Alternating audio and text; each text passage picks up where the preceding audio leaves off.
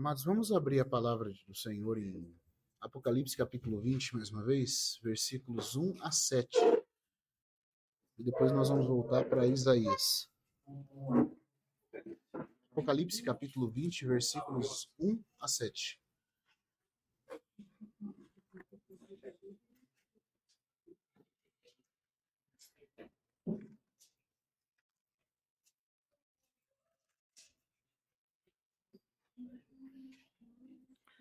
Eu estou lendo na versão textual, tá? Os irmãos podem seguir nas suas versões.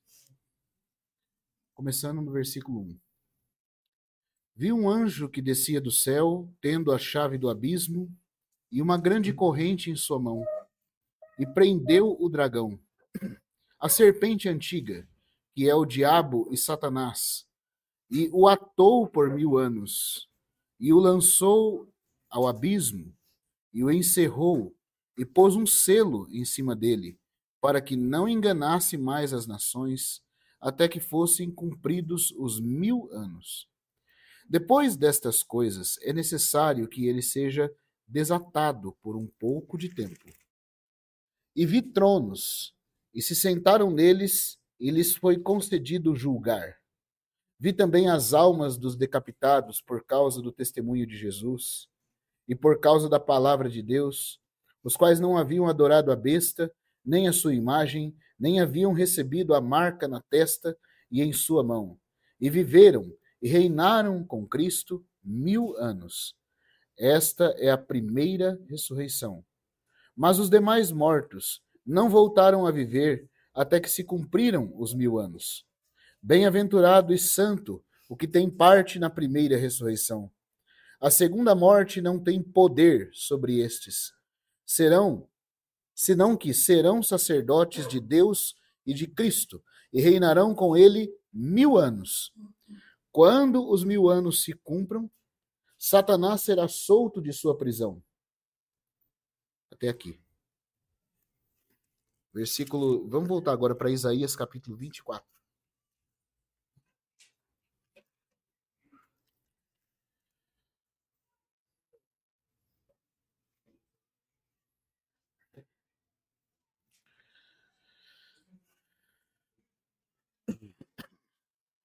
Vamos ler o, o capítulo todo. Do versículo 1 até o 23.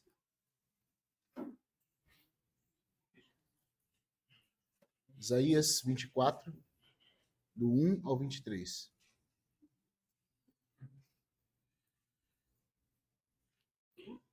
Eis que Yahvé esvazia a terra e a deixa desolada. Transtorna sua face e a faz, e faz espalhar os seus habitantes. O mesmo ao povo e ao sacerdote, ao servo e ao senhor, à criada e à senhora, ao comprador e ao vendedor, ao prestamista e ao prestateiro, ao credor e ao devedor. A terra fica inteiramente esvaziada, fica totalmente saqueada.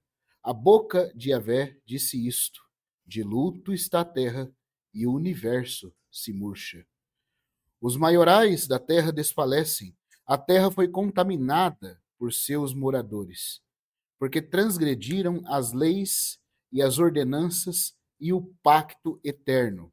Por isto, uma maldição devora a terra, e seus habitantes o pagam. Por esta causa, os habitantes da terra serão consumidos, e a humanidade tem diminuído. O vinho novo escasseia, murcha-se a vide, e geme o coração outrora alegre. Cessa o júbilo dos pandeiros, cessa o, re, o reju, rebuliço dos que se divertem, cessa a harmonia da harpa, já não se bebe vinho entre canções, e o licor tem sabor amargo ao que o bebe. Quebrantada está a cidade do caos, Toda casa está fechada para que ninguém possa entrar. Há lamentos nas praças pela falta de vinho. Todo regozijo tem-se ensombrecido. A alegria, a alegria se foi da terra. Na cidade só restam escombros. Suas portas têm sido feridas com a ruína. No meio da terra, e no meio dos povos sucederá o que no varejar da oliveira ou no rebuscar depois da vindima.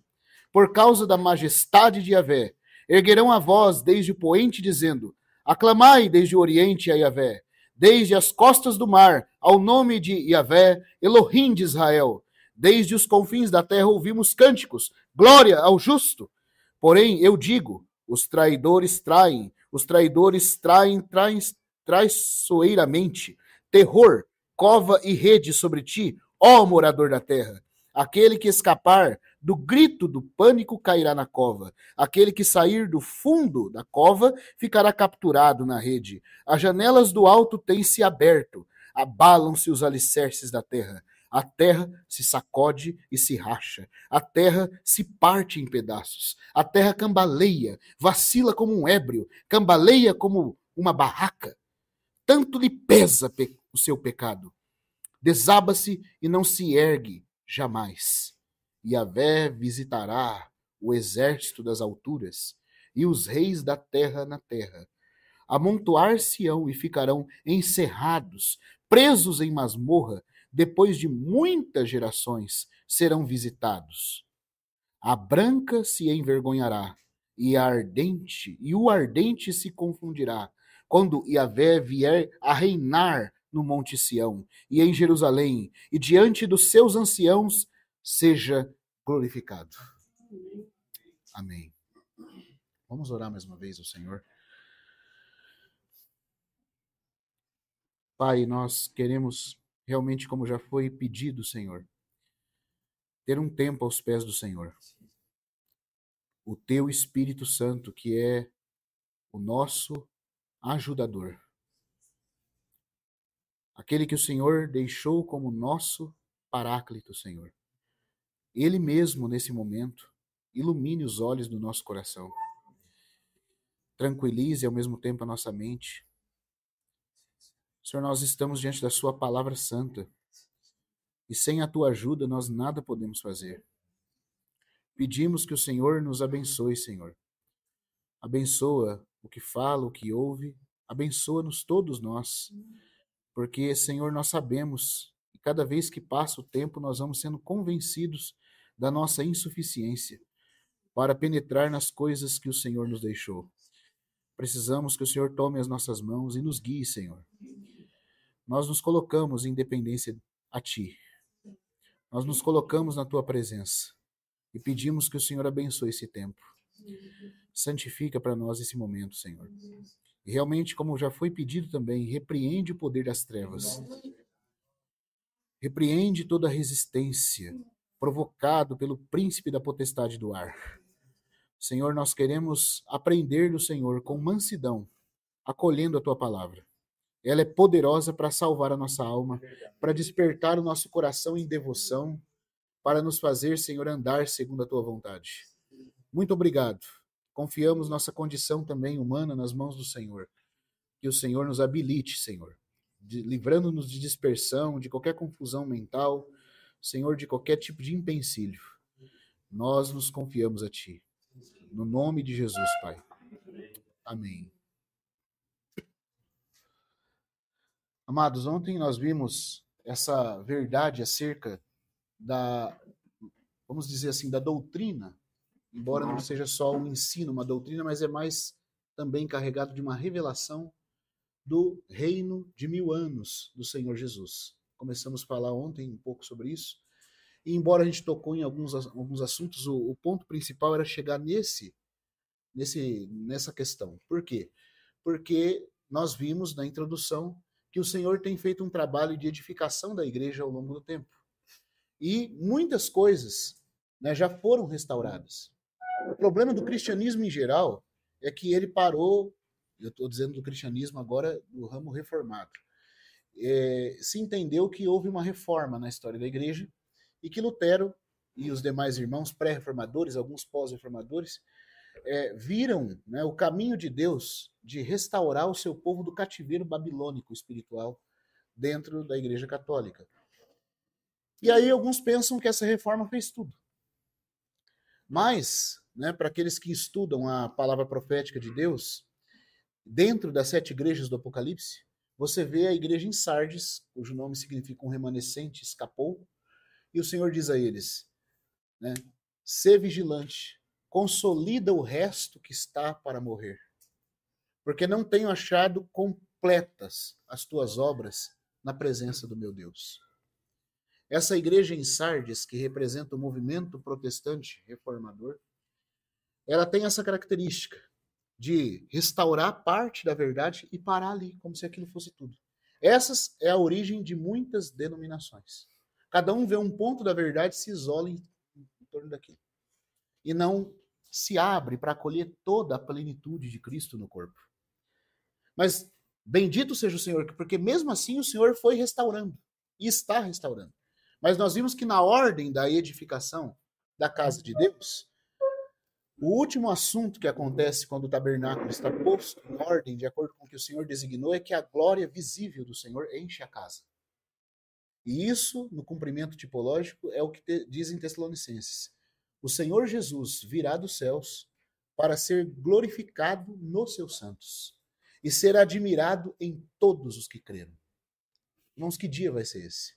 quando o Senhor, por um lado, voltar para nós. Mas, por outro lado, visto que o nosso corpo será glorificado com a glória dele, com aquilo dele que está formado em nós, ele, por outro lado, voltará. Entenda o que eu vou dizer? Por um lado, de dentro de nós. A sua glória vai simplesmente irradiar dos seus santos, que aparecerão com ele em glória como um Cristo coletivo nas nuvens, sendo admirado e visto por todo o mundo, irmãos. Essa é a glória enchendo a casa. Aquela Shekinah que descia dentro do Santo dos Santos e ficava ali. Agora permeia a casa toda. Então, essa glória aparecendo diante da vista do mundo é o assunto da glória de Deus retornando a essa terra e se manifestando à vista de todos os homens. Isso é o reino. Por isso que também depois que o livro de Êxodo termina, né, nesse episódio, a gente tem o livro de Levítico inserido com ordenanças em relação a vida, adoração e serviço do povo de Deus, mas em ordem cronológica, o próximo livro é Números. E como que você vê o livro de Números? Você vê três tribos ao norte, três ao sul, três ao leste, três ao oeste, e um santuário no meio, e aquele povo ordenado como um exército e sacerdócio. Se você estudar bem o livro de Números, nesses capítulos, e a, e a conclusão da Bíblia, você vê que aquele povo era uma miniatura do que Deus fará na Nova Jerusalém. Deus estava exibindo um reino de sacerdotes na terra. Então, e o que é a glória enchendo a casa? É a glória do Senhor como conteúdo do seu povo, produzindo autoridade, domínio e comunhão. É isso que vai acontecer, irmãos. Então nós chegamos num ponto agora na história da igreja, onde as demais verdades, embora não é toda a igreja que vê isso ainda, mas o Senhor foi levantando remanescentes e remanescentes e remanescentes ao longo do tempo. O que, que acontece? Com cada grupo de remanescente, ele produziu a restauração de uma verdade já sedimentada no seio do seu povo. E a última questão que ele começou a trabalhar, há mais ou menos 200 ou 150 anos, com irmãos muito sérios também, que andaram e pagaram um preço muito alto, é a verdade sobre o cumprimento da sua palavra profética e a aproximação do tempo da sua vinda. Porque é isso, irmãos, é para isso que nós somos santificados. Senão, fica faltando. Fica faltando o propósito final. Então, nós vimos isso ontem a gente começou a ver como é importante nós discernirmos a verdade acerca do reino literal do Senhor Jesus. Não reino utópico, não é uma coisa abstrata. Ah, você vai reinar com Jesus quando você morrer. Você encontra com ele. Né? Nós vimos que teve pessoas na história da igreja que nem mais acreditavam que Jesus ia voltar de forma literal a esse mundo para instaurar o seu reino. Mas essa é a verdade bíblica. E isso tem que queimar no nosso coração, irmãos. Eu estava conversando com o Léo ontem, hoje de manhã também. Isso não é um assunto para curiosidade. Só. Isso é um assunto que tem que dominar o nosso coração. Eu lembro do irmão Deus falando assim: há irmãos. Ele fala assim: na minha biblioteca velhinha lá em casa, eu tenho livros de irmãos que viveram há 150, 200 anos atrás, que falavam, se debruçando sobre as Escrituras, estudando, jejuando, orando, pedindo para o Senhor. Se eles soubessem, irmãos, por exemplo, que Israel está como um Estado restaurado lá na Palestina, Ele falou, o senhor volta amanhã. Agora nós vemos tudo isso aí, vemos o Instituto do Templo, as coisas tudo prontas. É, a gente vê muitas vezes ele falando, né? Seguimos vivendo nossa vidinha. Como se as coisas que nós temos aqui fossem as coisas mais importantes. Irmãos, queira o Espírito Santo abrir os nossos olhos. Para nós vermos que Deus tem os seus tempos fixos. E nós estamos, irmãos. Se a gente for pegar, fazer um raio-x, bem no tempo dos dedos da estátua de Nabucodonosor. A única coisa que está faltando é aquela rocha, aquela pedra não cortada com auxílio de mãos, vir esmiuçar todo, essa, todo esse monumento, irmãos. Todo esse colosso. E essa estrutura do mundo que parece tão sólida será varrida como palha pelo vento. E um reino inabalável vai encher toda a terra, irmão. Nossa vida não tem sentido se nós não aprendermos que o reino de Deus virá. E como diz o irmão Gino, quando nós pedimos, Senhor, venha o teu reino, nós oramos isso, nós estamos pedindo outras coisas dentro dessa oração. Porque a gente fala assim, vem o teu reino, e na cabeça de alguns cristãos, é vem o teu reino significa põe paz na minha casa, me dá prosperidade, né? Minha conta fique, minha conta fique cada vez mais gorda no banco.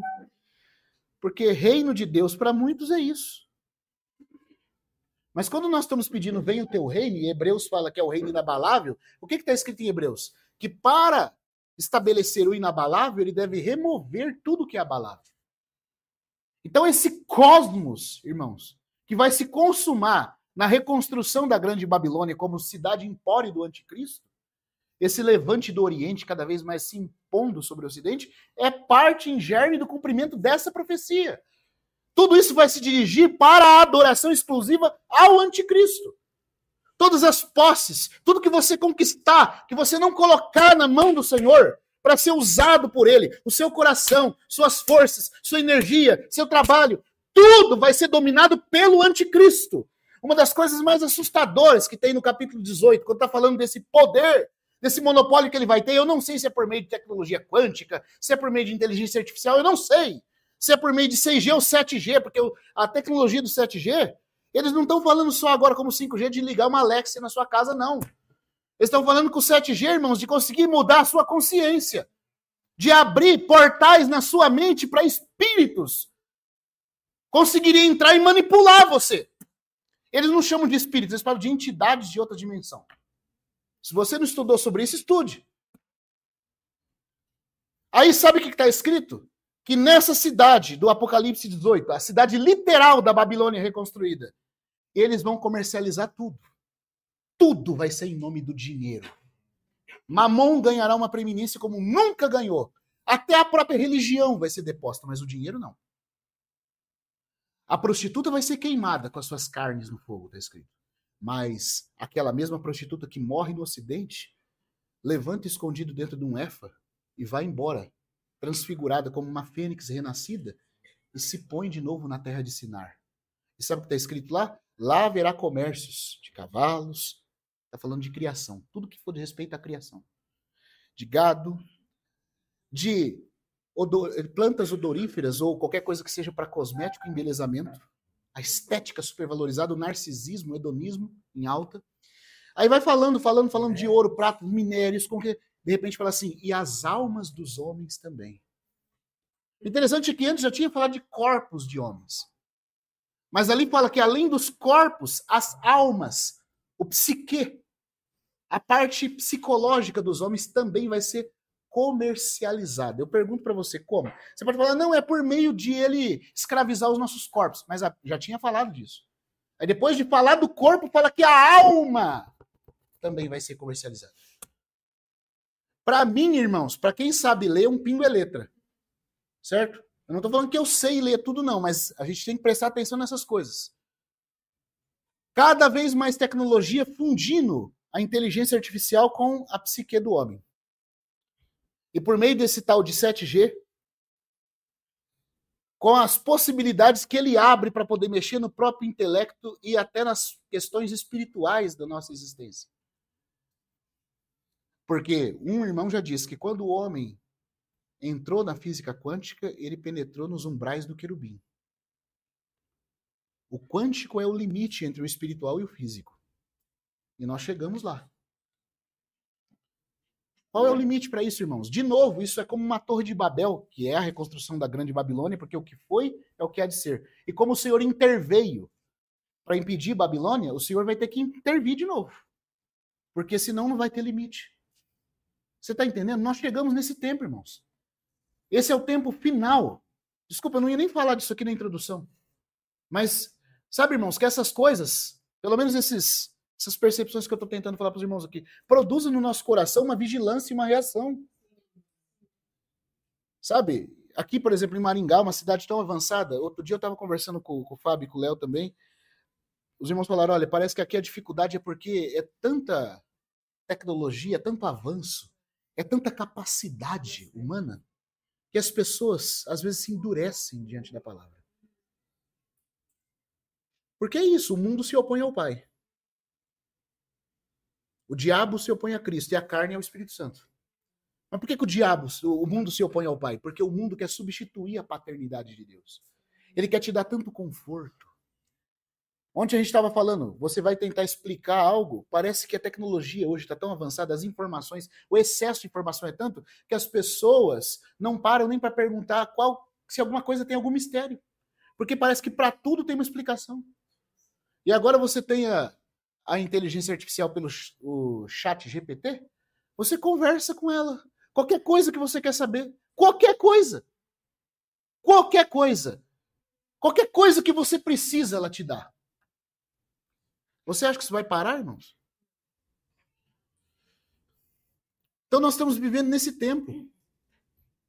Se o Senhor não produzir no nosso coração uma reação de devoção, irmãos, nós não vamos conseguir reagir contra o poder das trevas que se levanta, porque essa é a hora das trevas. Mais uma vez.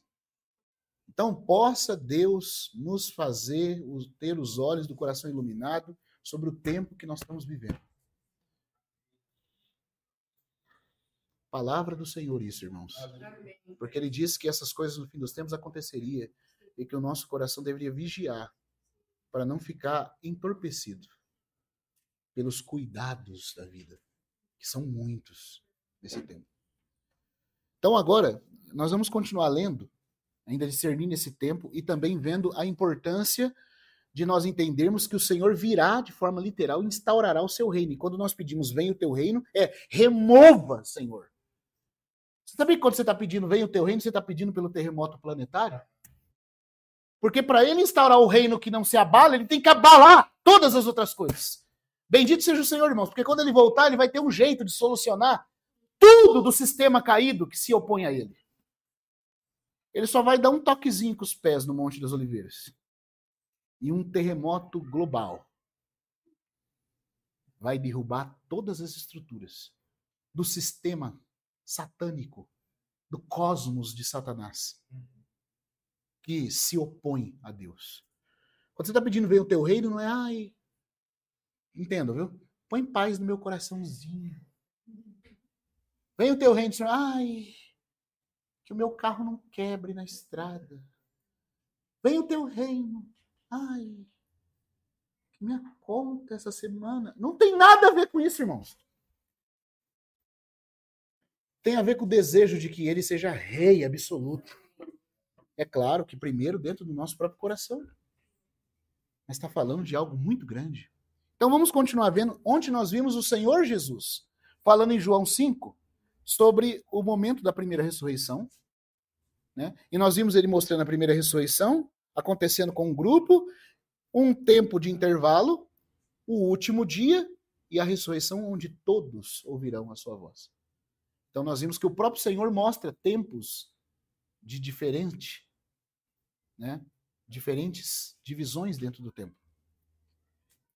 Agora hoje nós vamos ver Isaías falando a mesma coisa. existe uma expressão aqui em Isaías 24, porque tudo que o Senhor ensinou já estava em algum lugar já da Escritura e o Senhor desenvolveu. Hoje nós vamos ver a luz do reino milenar dentro da profecia de Isaías. E existe uma expressão aqui muito interessante que acontece no versículo eu vou chamar atenção para ela, mas nós vamos começar do versículo em diante agora a considerar, tá? Mas no versículo 22, fala: Amontoar-se-ão e ficarão encerrados presos em masmorras. Depois de muitas gerações. Algumas Bíblias traduzem depois de muitos dias. Os muitos dias ou muitas gerações aqui no hebraico é Rov e. O Rov e aqui, né, é a mesma expressão que em grego é usado por João. Ele equivale, na verdade, porque aqui de fato é muitas gerações ou muitos dias. Isaías, todavia, irmãos, ele não diz o tempo específico. Por quê? Porque a profecia bíblica ela funciona assim. Deus é um, Deus é, como diz o irmão Gino, é o melhor pedagogo que existe. E não tem ninguém melhor que Deus para ensinar. Você sabe quando você está diante de uma criança, começando a esboçar um assunto, você não pode com, falar de forma muito complexa. Você tem que ajudar ela a ir desenvolvendo a consciência acerca daquele assunto. Então, como você vai desenhar um homem, você vai lá, desenha uma, uma bolinha, certo? Aí você desenha um pauzinho aqui, outro pauzinho para cá, outro pauzinho para cá, um pauzinho para cá, para cá. Isso, o que é isso aqui? Isso aqui é um homem. Ah, entendi. Aí, à medida que ela vai crescendo, você vai colocando uma boquinha, um olhinho, outro olhinho, né? Um, um pezinho, outro pezinho aqui, uma mãozinha aqui. Tá. Ah, deixou de ser um homem? Não, mas agora acrescentou mais detalhes. Aquilo que já tinha sido falado. À medida que ela cresce, você não só faz de maneira rude isso, você vai colocando roupa, vai desenhando uma roupinha, né? Vai desenhando ela usando um tênis. Por quê? Porque agora ela está entendendo melhor. Então Deus também vai construindo a sua verdade. O que que acontece? Nós vamos ver hoje em Isaías, mas também tem nos escritos de Moisés, tem nos Salmos. A verdade do reino literal do Senhor Jesus por mil anos, como a era de ouro da história do homem, do propósito de Deus com a humanidade, ela está em toda a Bíblia. Só que Deus, ele começa nos ensinando por etapas. Então, em Isaías, ele não usa a expressão mil anos. Ele só fala muitos dias, muitas gerações, Rov e Amin.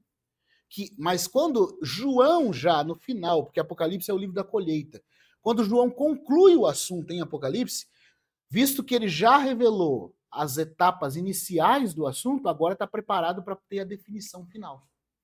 É igual o homenzinho, que era só uma, uma bolinha redonda, a cabeça, né, o corpinho de forma mais rudimentar, mas agora diz que a criança já cresceu, dá para colocar os detalhes que estão faltando. Você está entendendo? É como se fosse um bolo em camadas. Então o Senhor lançou uma base por meio de Moisés, por meio dos salmistas, por meio dos outros profetas, por meio de Jesus, como a gente viu ontem no, no Evangelho de João, eu achei importante começar por Jesus para entender que o próprio Senhor, o absoluto, o absoluto Senhor da verdade, falou a mesma coisa, irmãos. Então, ele foi por etapas. Quando chega em João, que é a conclusão, aí ele define até a duração do tempo. Durante mil anos. Né? Kilia et, em grego. Aqui o hebraico fala de muitas gerações. Rov e Amin. Mas vamos ver esse assunto agora no capítulo 24 certo? E aí a gente vai poder analisar lá, quando pudermos fazer a simetria entre Isaías e Apocalipse. Capítulo 24, versículo 1. Eis que a vé esvazia a terra. Eu queria chamar a atenção dos irmãos para um detalhe. Se você ler do capítulo 13 ao 23 de Isaías, você tem um grupo de profecias. Essas profecias falam contra a Babilônia, falam contra Tiro, falam contra Moabe, falam contra Filístia, a Síria, certo? Então, todos os povos inimigos de Israel são objetados nessas profecias. É como se Deus estivesse falando em particular para cada um dos povos inimigos do seu povo. Porque as profecias giram em torno da relação que cada nação tem com o povo eleito de Deus. Porém, quando chega no 24, como se fosse um grande finale de tudo, o Senhor vai mostrar assim: agora não é contra essa ou aquela nação, é contra o mundo inteiro. Por isso que essa sessão do de Isaías, Isaías 24, 25, 26 e 27, que é uma perícope só. O que é a perícope? A perícope é quando a ideia foi falada de forma completa. Porque às vezes, irmãos, a gente pensa que acabou o capítulo 24, acabou o assunto. E a Bíblia, quando foi escrita, não tinha capítulo nem versículo. Isso foi, os capítulos foram colocados no ano 1200, os versículos no ano 1300 depois de Cristo por, pelos arcebispos lá de Canterbury. E aí você pensa assim, ah, acabou o versículo, acabou o capítulo, acabou o assunto. Não, e às vezes acabou o capítulo e o mesmo assunto continua. O capítulo 24, a duração da profecia dele vai até o capítulo 27. Essa sessão toda é chamada de o pequeno Apocalipse de Isaías. Todo o livro de Apocalipse está concentrado no capítulo 24, 25, 26 e 27. O pequeno Apocalipse de Isaías. Do capítulo 13 até o, até o 23, existe o Massá, a sentença do Senhor contra nações específicas, cada um dando a sua sorte dentro da profecia. Mas do 24 ao 27 é contra o mundo inteiro. Uma série de acontecimentos se desenrolando em forma crescente, em revelação crescente, paulatina, porém crescente, do propósito de Deus. De como ele vai efetuar os seus muitos juízos até que Cristo seja entronizado, não só nos céus, mas também na terra. E todas as coisas possam convergir para o Senhor Jesus, como Paulo disse que vai acontecer na dispensação da plenitude dos tempos. Está dando para entender, amados? Então aqui o Senhor não vai falar contra essa ou aquela nação. Depois dele falar de tudo que as outras nações vão provar, do 13 ao 23, agora ele vem falar contra o mundo inteiro. E aqui, agora, com muito cuidado e de forma muito respeitosa, eu vou dizer o seguinte. É, eu não sei quantos irmãos aqui compraram aquele livro do irmão G.H. Lang, Apocalipse e a Revelação de Jesus Cristo. É, foi um dos livros que a gente lançou para alguns irmãos que pediram. Irmão, se você não leu, leia. Se você não comprou, compre. Porque assim, Apocalipse é maravilhoso, né? E eu tinha aprendido bastante coisas por meio do estudo do irmão Delst e também do irmão Dina Francesco, o irmão Christian Shen também. Mas, irmão, tem alguns pontos que o irmão Lang levanta ali que vai lançar mais luz nisso aqui que eu vou compartilhar agora com os irmãos. E que eu não vi ninguém falar. Por isso que eu estou falando aqui para vocês que valeria a pena ler. Durante muito tempo, eu vou colocar uma coisa aqui em aberto, tá? Não, não, isso não é uma coisa fechada. Eu estou falando que é uma luz que eu tenho percebido. O capítulo de Apocalipse sobre os selos, que vai do capítulo, no começo do 6 ali, o, cordeiro começa a abrir os selos. Eu sempre, eu sempre interpretei de uma forma, irmãos. Mas agora eu quero mostrar para os irmãos um outro aspecto pra, que para mim parece fazer um pouco mais de sentido. Que concorda com o que está no capítulo 24 de Isaías e com Daniel, capítulo 7. Tá? Então nós vamos ler aqui, ó. Presta atenção, o juízo do Senhor aqui é contra o mundo. Então tá falando de uma hora de um cataclisma que vai acontecer. Se você leu com cuidado, você percebe que aqui tem um cataclismo envolvido. É planetário a coisa. Eis que a vé esvazia a terra e a deixa desolada, transtorna sua face e faz espalhar a seus habitantes. E aí ele começa a mostrar na, no versículo 2 que esse juízo é contra todos. É a hora de Deus começar a julgar, irmãos. E porque Deus vai tomar o juízo na mão, não tem privilégios. Todos vão ter que ser julgados, cada um dentro da sua própria situação. É claro que 1 Pedro fala que o juízo começa pela casa de Deus. Mas quando Deus começar a julgar a sua casa, e ele tomar as rédeas do juízo na mão, todos vão receber o juízo devido a cada um. Alguns são juízos dispensacionais, outros são juízos de disciplina, outro é juízo eterno, mas Deus começará a julgar. Para a gente poder entender isso aqui, ele está falando, Yahvé transtorna a terra. Já não é mais a igreja, não é por meio de Israel, não é por meio das nações, Deus mesmo em pessoa vai vir julgar. Existe uma expressão, em 1 Coríntios capítulo 4, Paulo fala assim, mas quanto a mim, pouco me dá ser julgado por vós ou pelo dia do homem. A nossa versão põe tribunal humano, mas no grego é o dia do homem. Pode olhar lá no original que você vai ver isso, o dia do homem. O que, que significa essa expressão dia do homem, irmãos? O que, que Paulo quer dizer com isso? Ela vai se contrapor a uma outra expressão que aparece em 2 Pedro capítulo 3. O dia de Deus. O dia de Deus é o dia em que Deus, em pessoa, vai começar a julgar todas as coisas. O dia do homem é o dia em que Deus confiou autoridade para o homem julgar. É o tempo em que os homens governam. Que os homens são livres para julgarem ou não julgarem. Mas o governo está entregue aos homens. Sabe quando começou o dia do homem? Essa expressão usada por Paulo? Ela começou em Noé. Porque em Noé, e esse capítulo vai estar conectado com isso, a partir de que o povo saiu da arca, os, os filhos de Noé e Noé saem da arca com os animais, o que, que Deus faz? Ele investe um homem de autoridade para julgar outro homem. Antes disso, um homem não podia julgar outro homem. O homem não podia prender ou matar outro homem, nem em nome da justiça. Quando Caim matou Abel, o que, que aconteceu? O que, que o Senhor fez? O Senhor colocou um sinal em Caim para que ninguém pudesse matá-lo, porque um homem não podia julgar outro homem. A partir do dilúvio, depois que o dilúvio passa e a arca repousa em Ararat, e Noé sai, Deus fala assim: agora, se um homem derramar o sangue, pelo homem se derramará o seu. E começa a chamada dispensação do governo humano. A dispensação do governo humano inaugura o dia do homem. Os irmãos estão entendendo? Só para a gente poder entender melhor isso, vamos lá em Gênesis 9.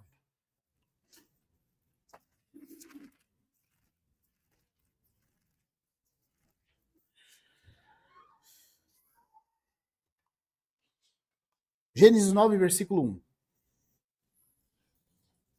E abençoou Elohim a Noé e a seus filhos, e lhes disse: Frutificai e multiplicai-vos, e enchei a terra.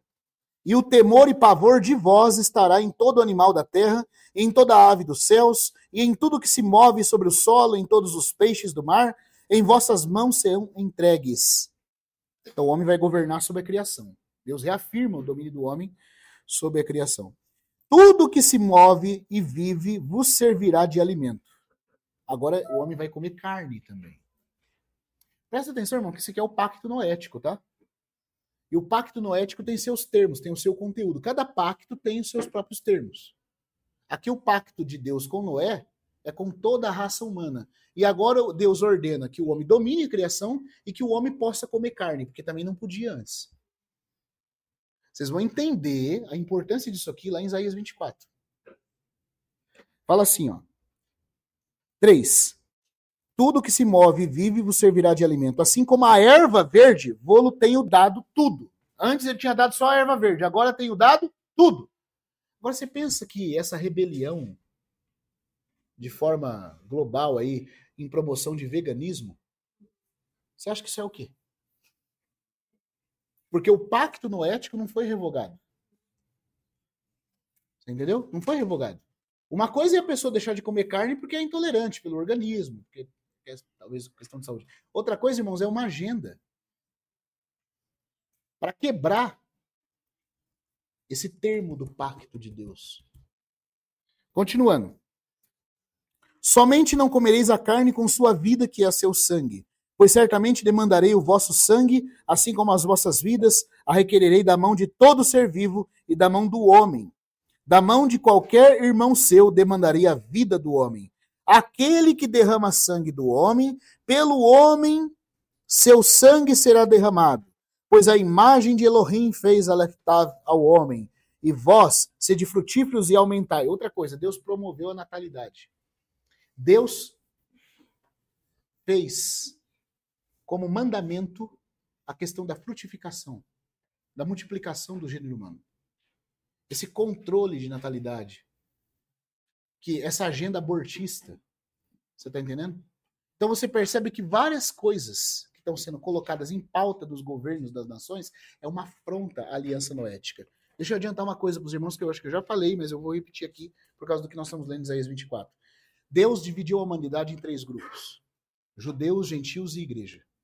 Os gentios, as nações, a aliança de Deus com as nações é o pacto de Noé. Deus não revogou das nações a obrigação de obedecer o pacto de Noé. Da igreja, sim, nós não estamos sujeitos ao pacto de Noé. Você está entendendo? Tem coisas do pacto de Noé que Deus, quando, por meio de Cristo, ele chamou os crentes para fora das nações, para constituir um novo homem, que é a igreja, nós não estamos sujeitos. Por exemplo, nós não podemos derramar sangue de ninguém. Você está entendendo? Nós não podemos prender as pessoas. Como cristãos, não. Nós, o Senhor não mandou a gente pegar a espada. O Senhor mandou nós orarmos pelo que nos persegue, nos dá, dá outra face. Nós somos um povo distinto, irmãos. Mas tudo que não é dentro da igreja do novo homem, porque a palavra igreja eclésia significa o ajuntamento dos chamados para fora. Para fora do quê? Para tudo que não é Cristo. Nós somos um povo debaixo da nova aliança, Somos a nova criação de Deus, o novo homem coletivo. Mas o que não é igreja, ou é gentil ou é judeu. E com os gentios, Deus tem uma aliança que ele não revogou, e as nações, como nações, têm a obrigação de obedecer essa aliança. Então, as nações têm que promover a natalidade. As nações têm o dever moral diante de Deus de não promover o veganismo. As nações estão sujeitas, irmãos, a instaurar a pena capital, a pena de morte por crime capital. Se você matou, se alguém matou, alguém tem que vir tirar a vida desse indivíduo. A pena de morte é instaurada por Deus sobre as nações. E não aplicá-la é afrontar a Deus. É, irmão, pesado, irmão. É pesado porque nós somos cristãos, nós não vamos tirar a vida de ninguém. Nós não estamos debaixo desse pacto aqui. Mas as nações estão. Porque Deus, irmãos, pelo mundo caído, ele quer manter o equilíbrio. E o temor na consciência dos homens. E a justiça, porque a vida é tão sagrada para Deus que só com a reparação de outra vida, uma vida tirada, vai ser compensada. Aí fica hoje, por exemplo, os direitos humanos. Os direitos humanos só está o direito humano do bandido. Né? O camarada inocente que morreu não tem direito. Então, esse pacto aqui vigora ainda. E é o pacto de Deus com os homens, com as nações. Tá entendendo? Vamos continuar lendo para os irmãos verem. Ele diz assim: Sede frutíferos, aumentai em número, reproduzi-vos na terra e multiplicai-vos nela. E falou Elohim a Noé e a seus filhos que estavam com ele, dizendo: Eis que eu mesmo estabeleço meu pacto convosco. Mas é só com os homens? Irmão, vamos ver a universalidade disso aqui. E com a vossa descendência depois de vós, ou seja, descendentes de quem? Dos três filhos de Noé. Todas as nações da terra são descendentes dos filhos de Noé.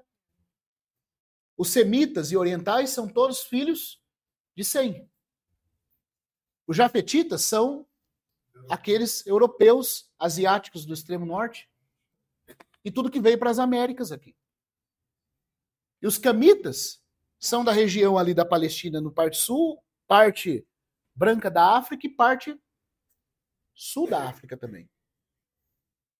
Então toda a humanidade é descendente desse que Deus fala assim, com a descendência dos filhos de Noé eu estabeleço esse pacto com todas as nações, irmãos. É um pacto, isso aqui são termos de um pacto. E continua. E com todo ser vivo que está convosco, com a ave, até os animais, irmãos até os animais, com a ave, com o gado, com todo animal terrestre que está convosco, todos os que saíram da arca. Estabelecerei, pois, o meu pacto convosco. Não será aniquilada mais nenhuma carne pela água do dilúvio, nem haverá mais dilúvio para destruir toda a terra. E disse Adonai Elohim a Noé: Este é o sinal do pacto que vos dou, em, que, que vos dou entre mim e vós e todo ser vivente que está convosco por gerações. Por quanto tempo, irmãos? Gerações perpétuas. Nós vamos ver uma expressãozinha interessante no livro de Isaías 24. Que Deus vai assolar a terra toda, porque os homens violaram o pacto eterno. Aqui é chamado de pacto de gerações eternas. Também é chamado de pacto eterno. Certo? Olha só o versículo 16. É, Gênesis 9, 16. Esse pacto feito de Deus com as criações, com as criaturas e as nações, é chamado de pacto eterno. Olha o 16. Estará, pois, o arco, o arco-íris na nuvem, e o verei para recordar o pacto. Como? O pacto eterno. Esse pacto nunca será revogado. Acontece que pela obra do Senhor Jesus nós somos tirados de dentro dele para se construir um pacto melhor. Mas as nações e o mundo em si estão sujeitos a isso. E se não cumprirem isso, Deus vai vindicar esse pacto. Agora vamos voltar para Isaías 24. Os irmãos vão ver que Deus, quando ele vem no seu juízo sobre o mundo, sobre todas as nações, é porque as nações violaram esse pacto. E estão violando cada vez mais. Como se não houvesse Deus.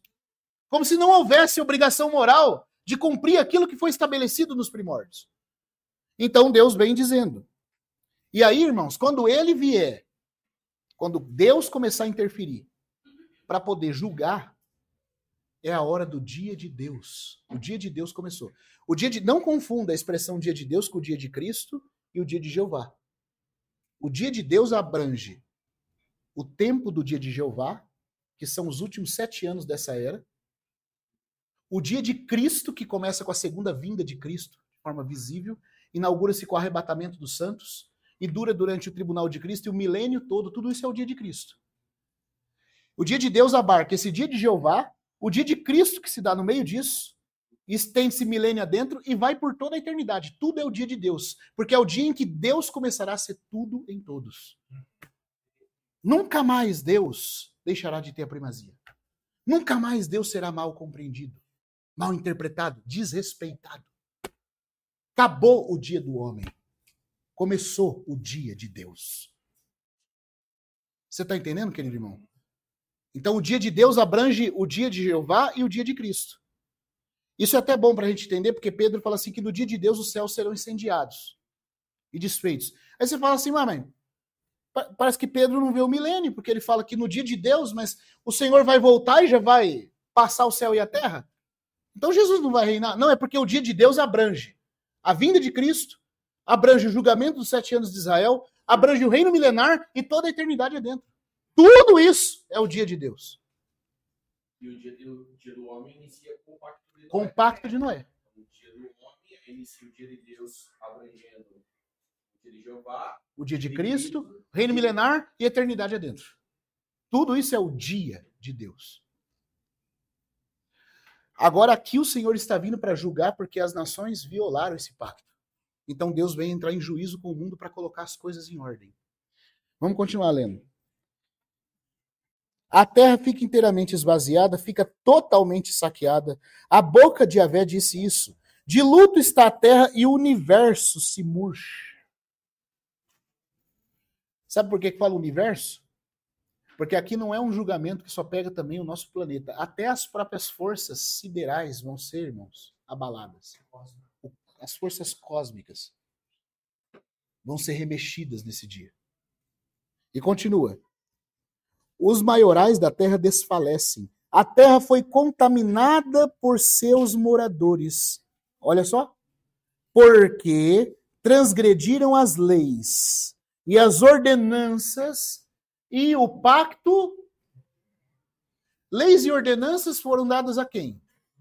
A Israel. Mas e o pacto eterno? A todas as nações. Então, esse é o tempo, irmãos, em que Deus vai começar a acertar contas com Israel e com as nações.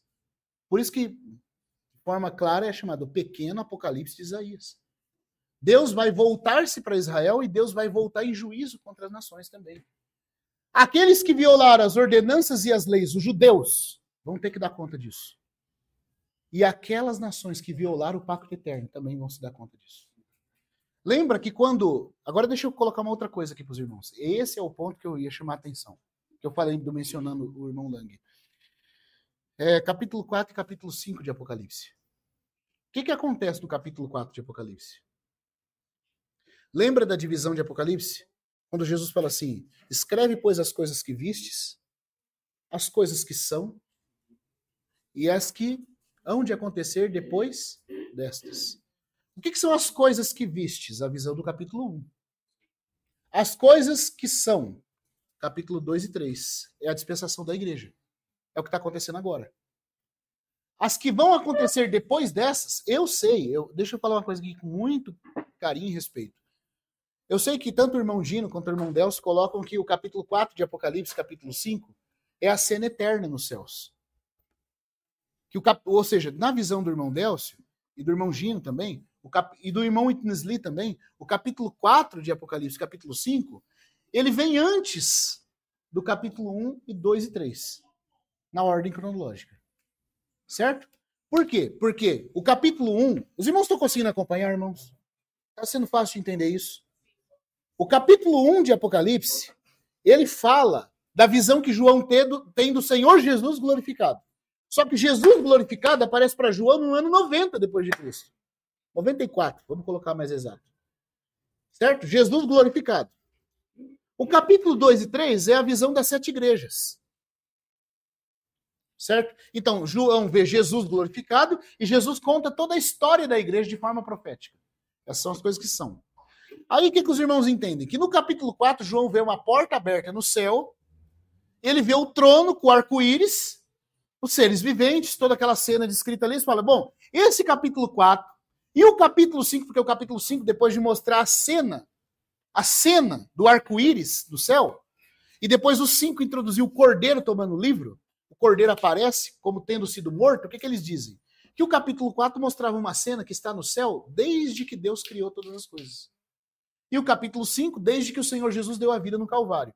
Agora, como Jesus deu a vida no Calvário antes de aparecer para João no capítulo 1, acompanhe o raciocínio. Eu sei que parece um pouco difícil, mas como diz o irmão Gino, nós não somos galinhas, nós somos homens, temos mente para pensar, né? Nós conseguimos decorar placar de futebol, um monte de coisa, então vamos tentar entender esse quadro aqui, irmãos. Porque a nossa mente, nós temos que amar a Deus com a nossa mente também.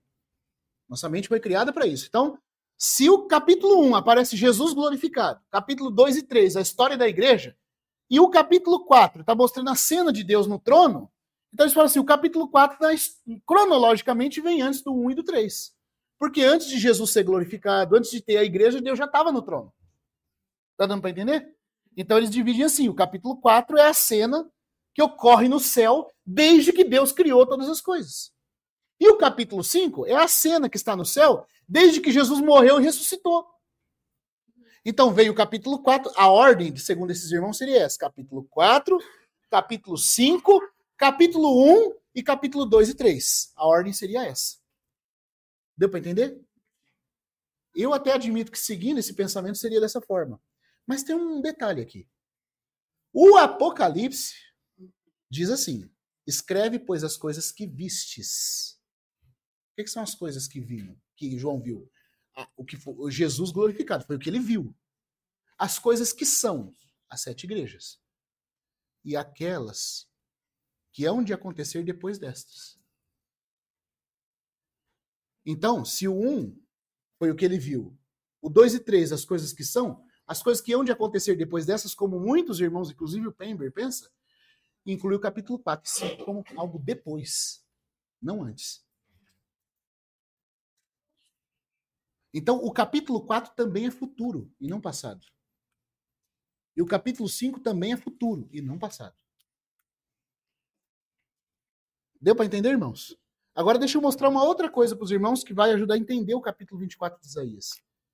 Você se lembra que no capítulo 4, o que, que João vê quando ele entra dos céus? O que, que ele vê? Ele vê um trono com o quê? Com um arco-íris igual uma esmeralda. E o que, que ele vê ao redor do trono? 24 anciões sentados em tronos. Irmãos, aonde na Bíblia tem uma cena parecida com essa em outro lugar?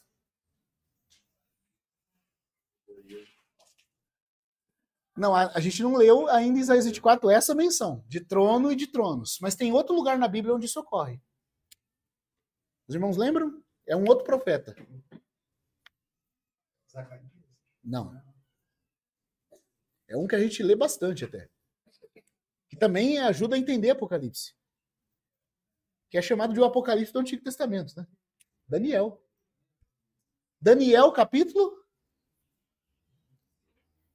você vê o trono e tronos. Capítulo 7, irmãos. Vamos ler lá o capítulo 7 de Daniel um pouquinho? Daniel, capítulo 7.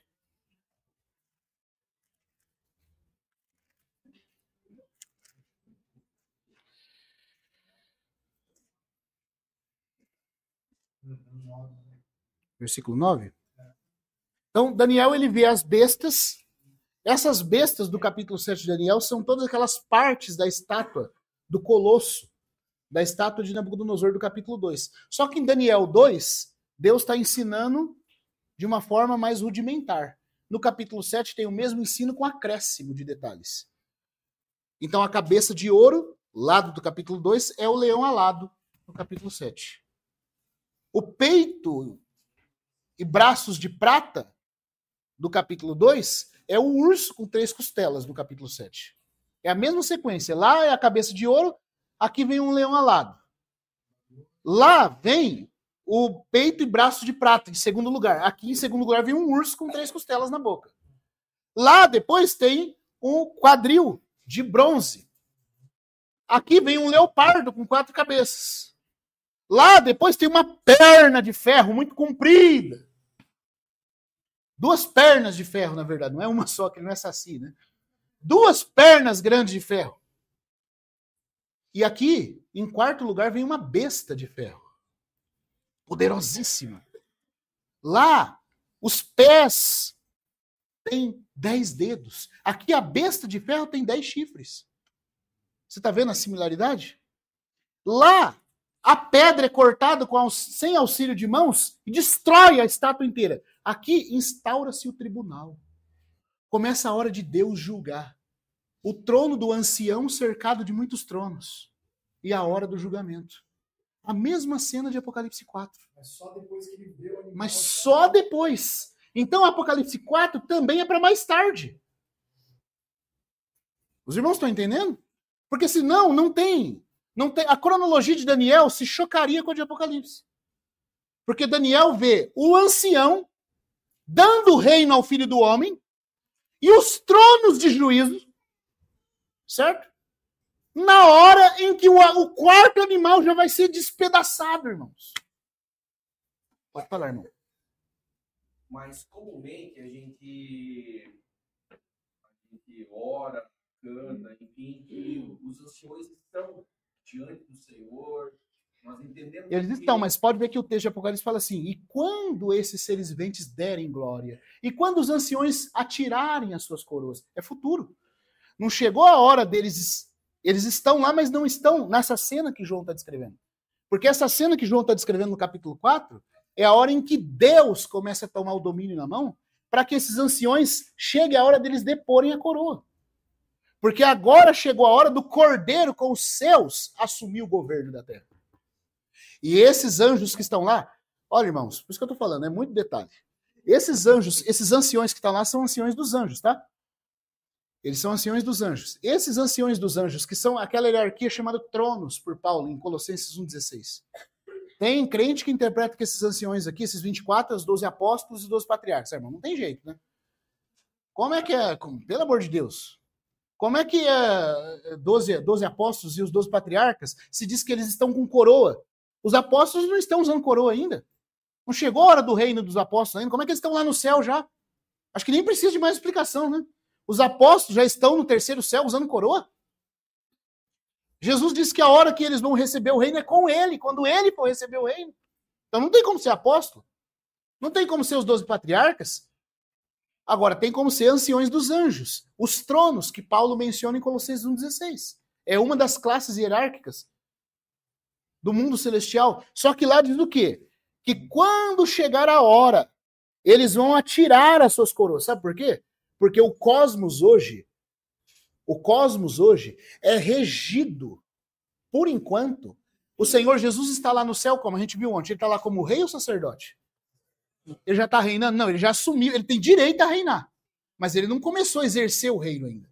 A função que ele exerce lá é de sacerdote. E o reino está na mão de quem? Desses anciões. Os anciões dos anjos são os reis da criação até o momento do cordeiro assumir o trono. Ass- Assumir o trono, que eu digo assim, começar a exercer o reino.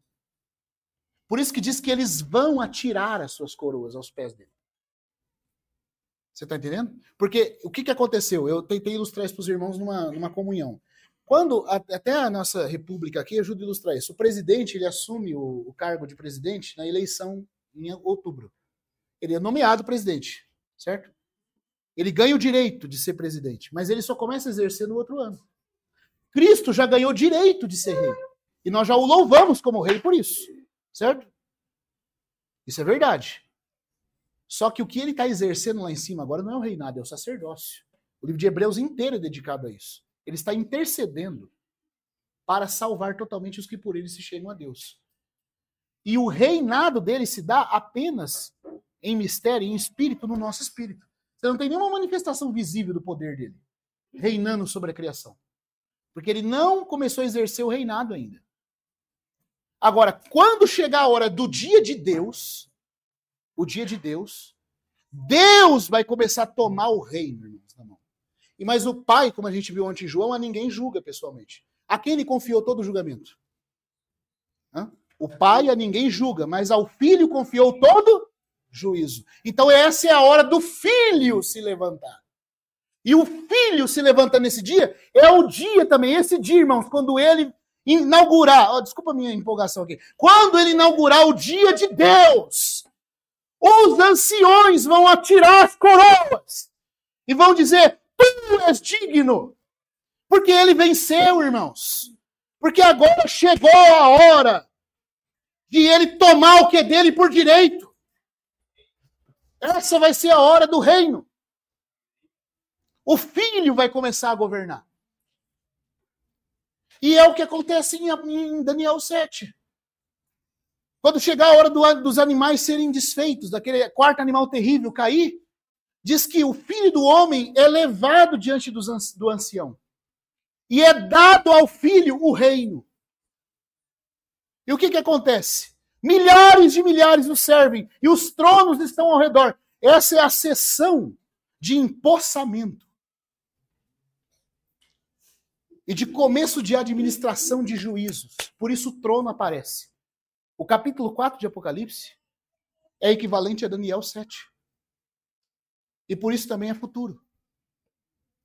Você diz então que ele será entronizado nos céus para que depois de entronizado. Não, ele já foi entronizado, só que ele não começou a exercer juízo, governo.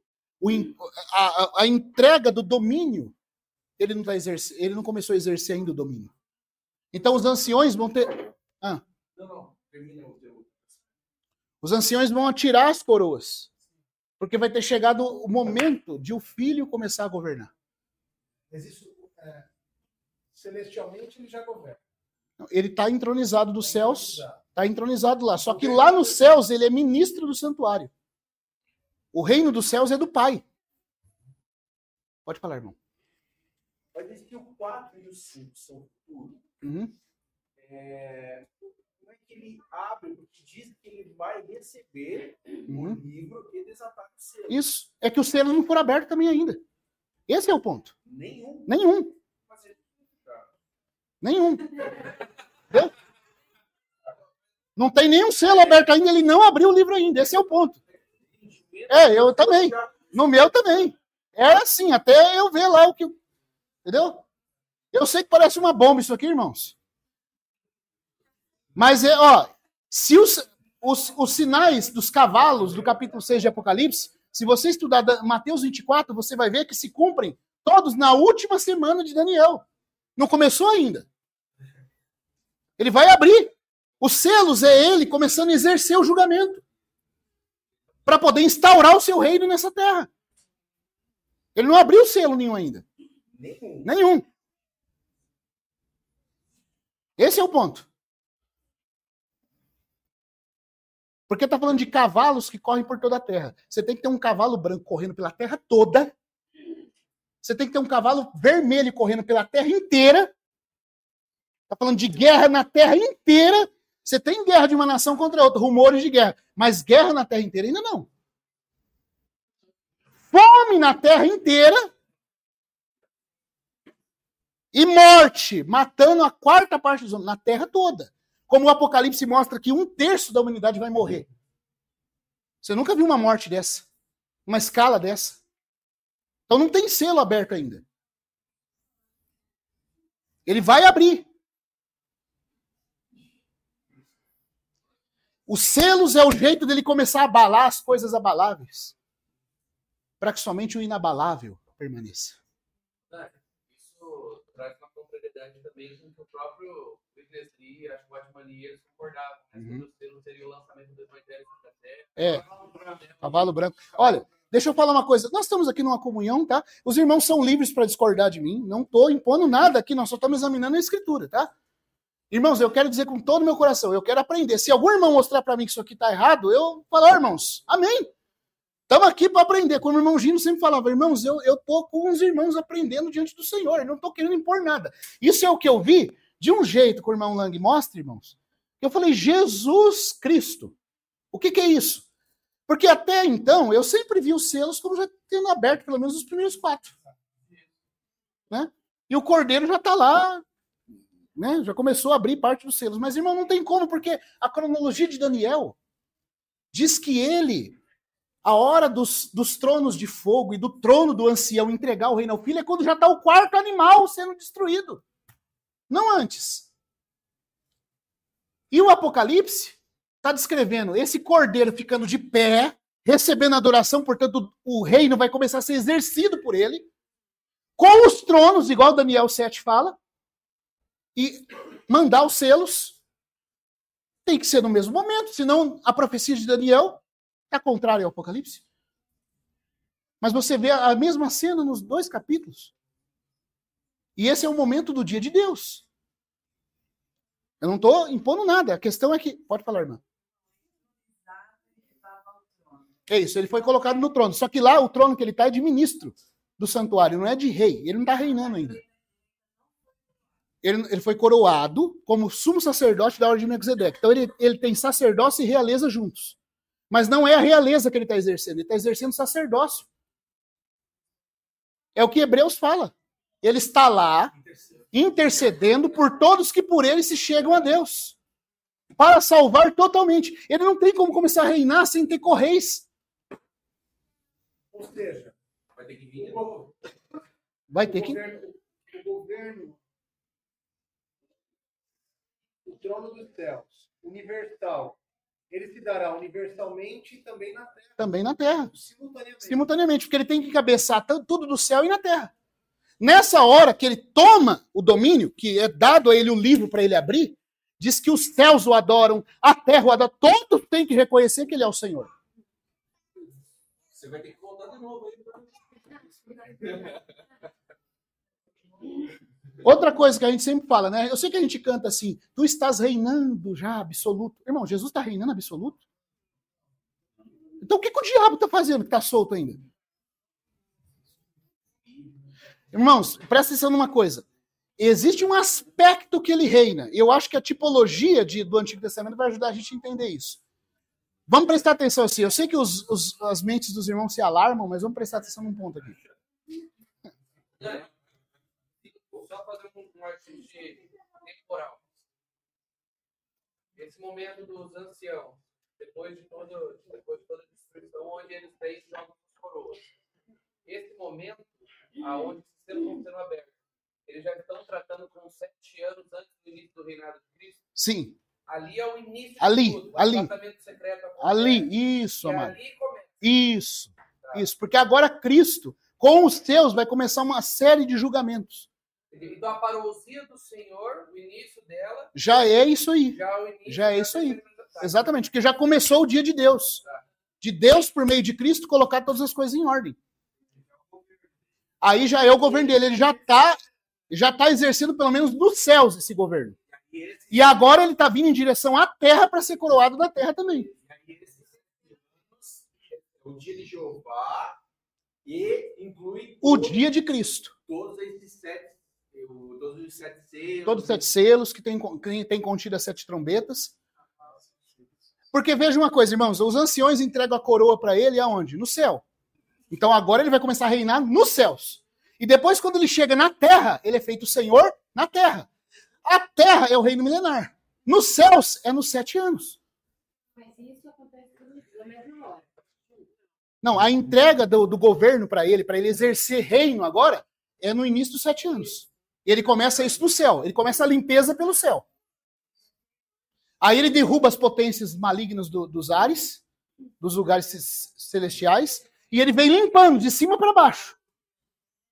Ele vem limpando e reunindo de cima para baixo. E depois, né, quando chega na terra, ele é coroado rei em Jerusalém. Agora ele reina sobre a casa de Jacó e sobre todas as nações. Livro. Esse livro do Lang vai falar disso. E, e esse livro é Apocalipse, a revelação de Jesus Cristo. Ele coloca assim, não é um estudo exaustivo, são só notas. Eu Nossa, isso aqui é só nota, imagina um estudo exaustivo. né? Mas uma bomba. Mas sabe, irmãos, porque senão. Porque senão, eu lembro que eu estava no, no, no encontro em Brasília. E o irmão Elcio, lá de, de Brasília, lá o irmão que era lá a segurança do presidente lá, ele falou assim: é, Você já leu? Falei, ainda não, imprimi, vou começar. Comece. Aí ele falou: Você lembra aquele assunto dos tronos, dos selos que a gente estava conversando e parece que não fechava algumas coisas? Falei: Lembro, tá fechado. eu falei: Não, não é possível, não, tá fechado. Porque antes, irmão, eu tinha participado de uma comunhão com alguns irmãos e tinha um, um grupo de irmãos lá que até andaram junto com o irmão Christian Shein bastante tempo nessa comunhão. E esses irmãos, e eu batendo na tecla, né? E, porque eu também sou duro de me render. Eu falo que eu quero aprender, mas primeiro tem que me convencer de todo jeito, né? Aí eu tô lá, né? Eu batendo na tecla. Não, mas o selo já foi aberto. Não, é porque o cordeiro já. O irmão falou assim: não tá, irmão. Eu, tá, irmão, não tá. Pá, pá, pá. Aí eu apelei pro cavalo branco. Porque o cavalo branco já tá correndo. Não é possível. Né? E aí eu comecei a falar da coroa do cavalo e tudo aquele negócio, né? Falei pros irmãos, falei assim, ó, a coroa aqui não é diademata, é Stefanos. Como se fosse uma autoridade assim no grego, né? Stefanos, e a palavra Stefanos em grego significa uma coroa de alguém que lutou e conquistou. Isso não pode ser o anticristo. Isso tem que ser Cristo ou o Evangelho. Porque Cristo lutou segundo as normas. Pá, pá, pá, pá, pá. Né? Aí eu tinha um irmão assim na live, eram uns irmãos tudo meio cabeçudo assim desses estudos. Tinha um irmão que estava calado, assim, quietinho, escutando, né? Quando eu acabei de falar, e parecia que eu tinha concluído, assim, subjugado ali com aquele argumento, né? Puxa, aqui agora. O irmão falou assim: irmão Daniel, só tem uma, uma questãozinha para colocar aqui. Falei, pode falar, irmão. Então, é, é, que você falou que aí a palavra Stefano é uma coroa positiva, né? Você já consultou qual que é a palavra usada para coroa na cabeça do gafanhoto no capítulo 9? Falei, ah, não vai não. Não é. Não pode, não. É, irmão, é essa aí mesmo. Nossa, gente. Eu tinha consultado lá com, com como é que é, E.T. Robertson, lá, o exegeta grego, né? Fui no Vine lá olhar Stefanos lá. Irmão, a coroa tá na cabeça do gafanhoto lá.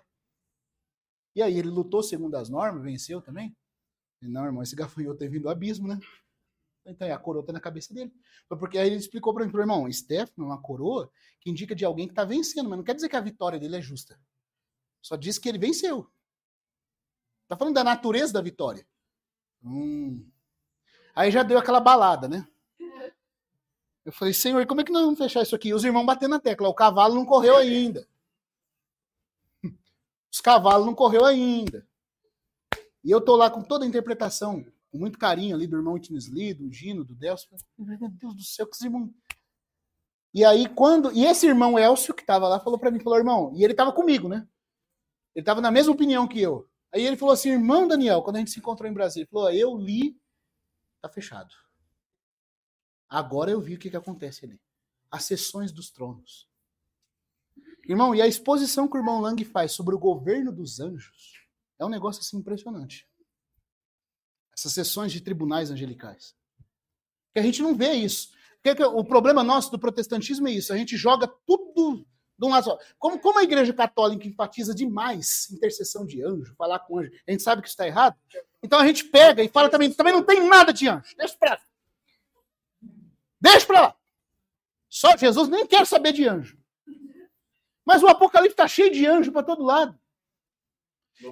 Tem anjo que sai do santuário conversando com o Senhor, cumprindo funções específicas. O próprio Senhor.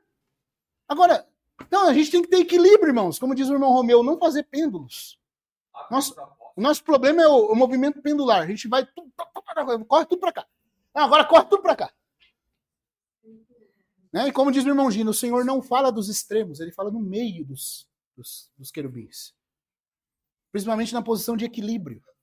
Os extremos sempre vão nos levar para um. Então, tá dando para os irmãos entender? O capítulo 4 e 5 de Apocalipse fica sendo futuro. Eu não sei quanto tempo eu tenho ainda. 15 minutos só. Eu, eu, eu vou. É porque vai dar meio-dia já. Então, nós vamos mais 15 minutos e a gente continua depois. Tá?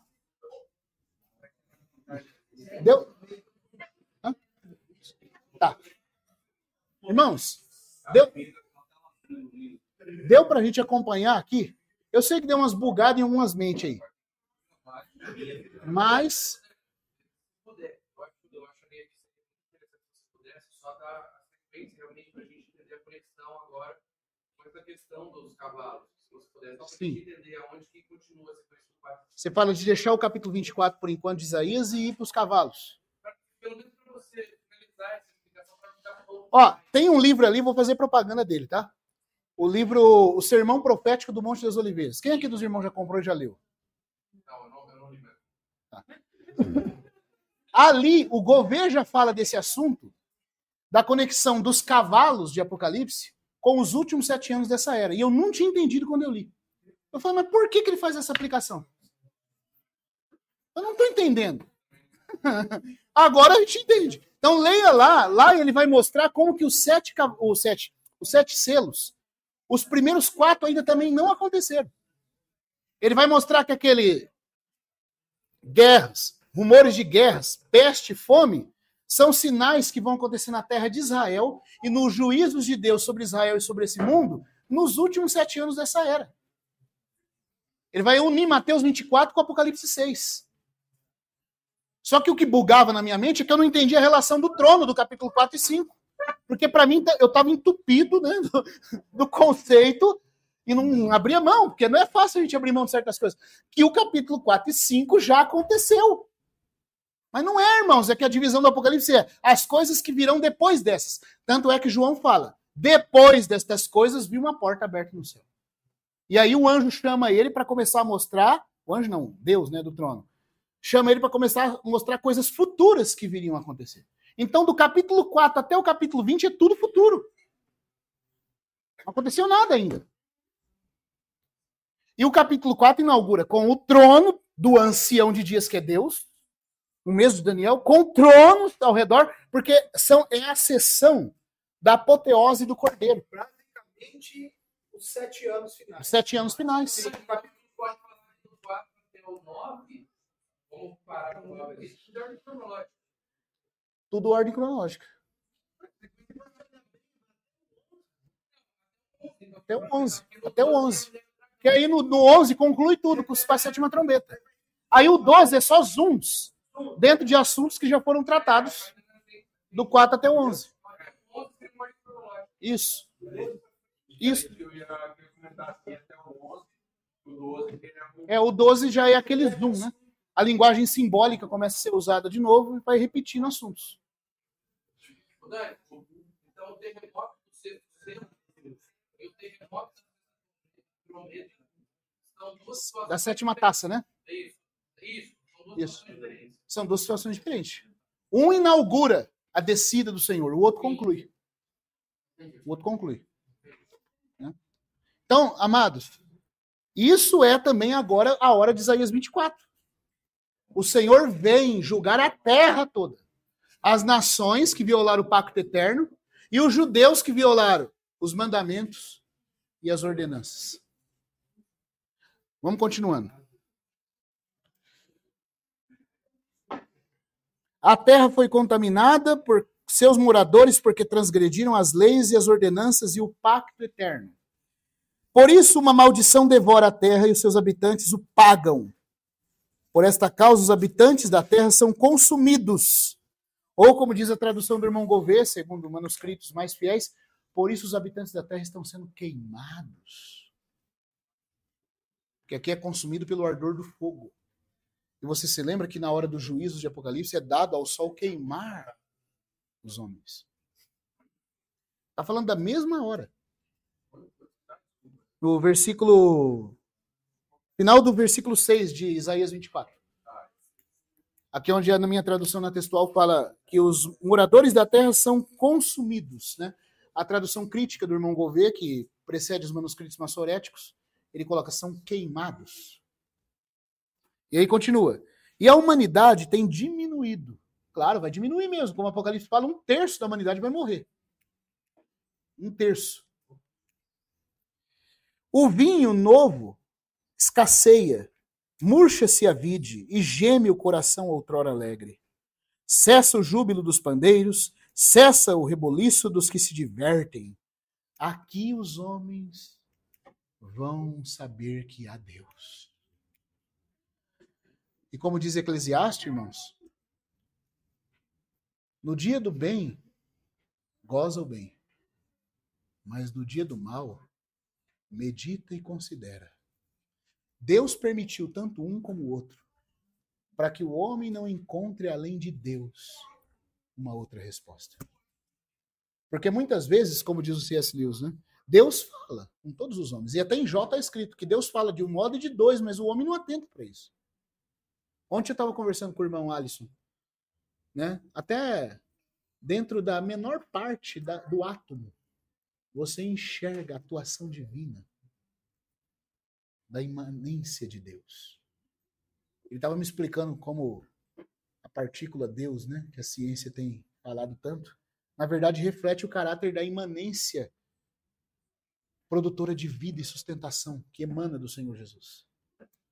Mas o homem não atenta para isso. Ele mergulha nos intestinos da matéria e não atenta. E aí o C.S. Lewis fala: Deus fala na nossa Deus sussurra na nossa consciência.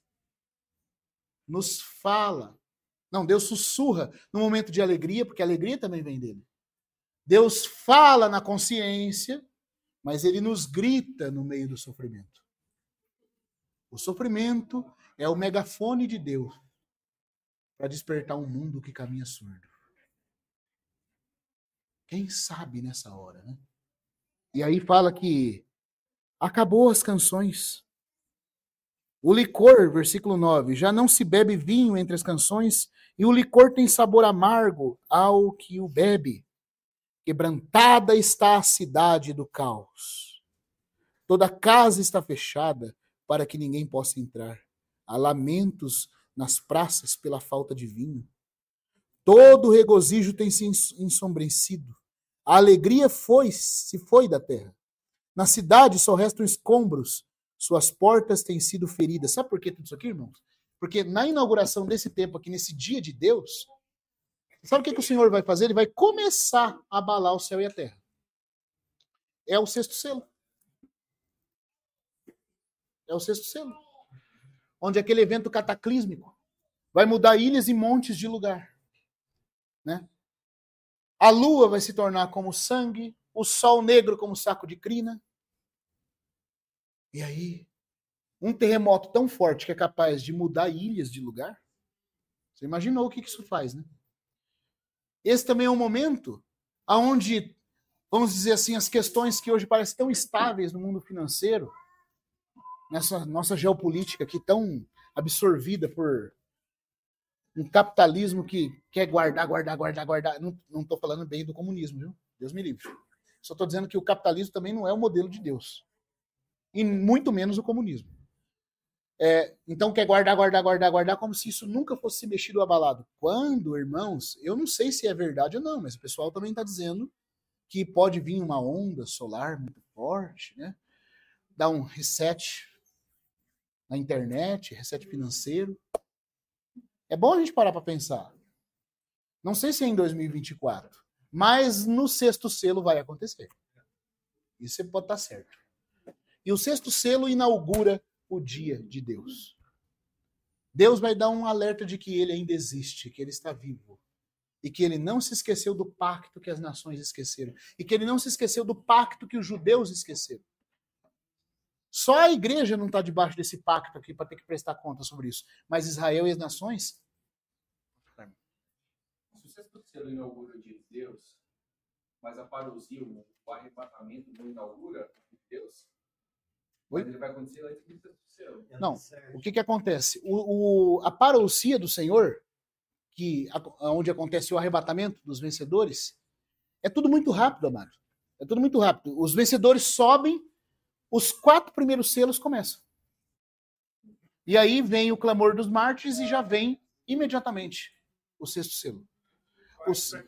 Aí o sexto selo prepara a terra para o sétimo, que desprende sete trombetas. E as sete trombetas tocam durante todo o período dos sete anos. As primeiras quatro trombetas nos primeiros três anos e meio, as últimas três nos últimos três anos e meio.